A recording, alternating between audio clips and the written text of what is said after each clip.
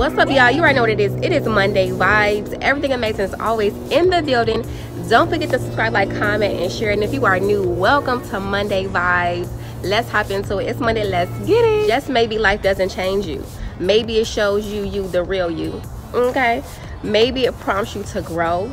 Maybe it pulls away what you can't find the courage to do, which is destiny. Maybe it shakes you up. Today is Monday. It's Monday vibes. Okay just maybe it shows you the pieces of yourself that you can't see. Mirror vibes okay? Maybe life doesn't change you. Maybe you change yourself when you see yourself when you look in the mirror okay?